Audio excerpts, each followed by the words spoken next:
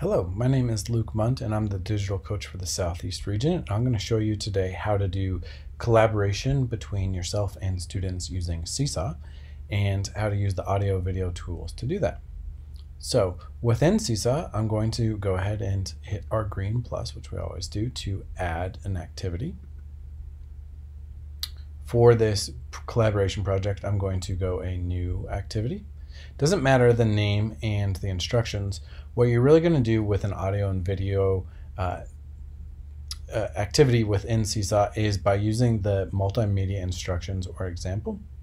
So in here, you can record a video and that's just a simple video recording that comes up. Or you can do a drawing and have your audio in there. So the audio is part of the drawing here.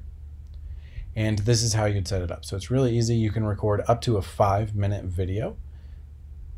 I'm going to go ahead and show you back in my class an activity I've given to one of my classes, and that is uh, invention activity. So I want them to be creative and I want them to collaborate with each other. So I've given my full instructions in the video as to my expectations. I've already had four students respond, and once I approve those responses, they are now live in my journal.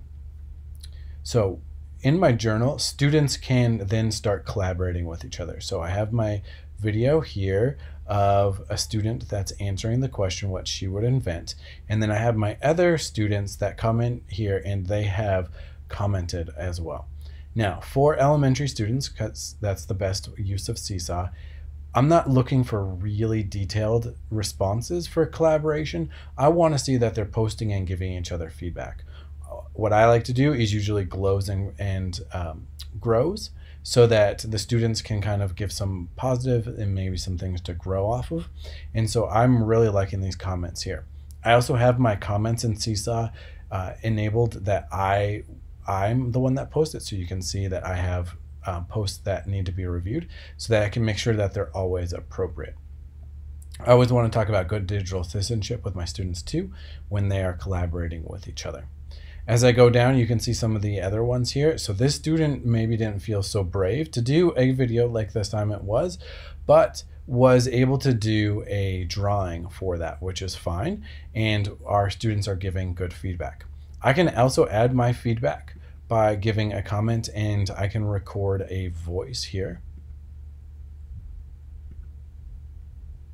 Thank you, Matthew, for your work. I really appreciate your invention. Um, I think this is a really cool invention. Next time I would love to see you do a video, but for right now, this is great. Thank you for your drawing. Okay, so I've given my feedback there. I really like giving the audio feedback, especially for elementary students, because maybe they can't always read based off of the grade level, but I have that there. I have another drawing, more feedback from my students, and then this one here actually has an audio clip with the written response. So maybe the student didn't feel so comfortable doing the video, but that's completely fine because they have the audio. Sometimes our students don't want us to see inside their house or maybe aren't feeling comfortable on camera, that's fine. This student has given our uh, audio. So we have drawings, we have video, we have audio, but the real thing is that we have students that are interacting with each other. They can also like on their posts as well.